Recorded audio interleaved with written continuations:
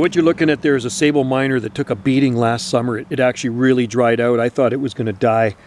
And, uh, well, we got a frond on it that looks okay. Frond on it that we kind of cut back because it dried out. And then the center spear really dried up. It's still firm. I can't pull it out. That's a good sign. So hopefully it pushes, pushes some green out of there. This one looks totally fine, this Sabal minor. And of course the Chamaerops looks okay too. I gotta watch where I'm stepping here. So there's Sabal minor right there, Chamaerops humilis there, and a recovering Sabal minor there. I gotta watch where I step here. There's a lot of stuff blooming right now. And, uh, well, we're underneath a nice big Trachycarpus palm, I can tell you that.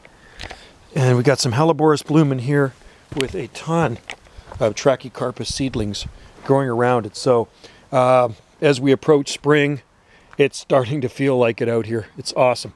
I'm loving it. Lots of daffodils blooming. Some beside the Waggy right there. And um, safe to say that we are definitely in the safe zone in this part of Canada.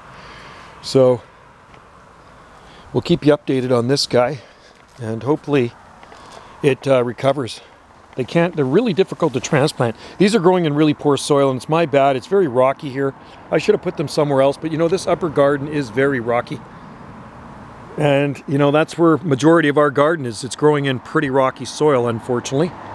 So, but it does get really hot up here when the sun shines down on it. So it's a good place for Sabal minor for the heat, but bad with the soil.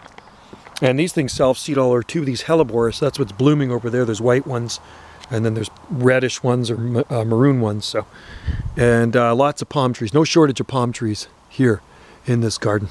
All right, guys, thanks for watching, and uh, let's just hope that that thing makes a full recovery. We're praying. Fingers crossed. Cheers.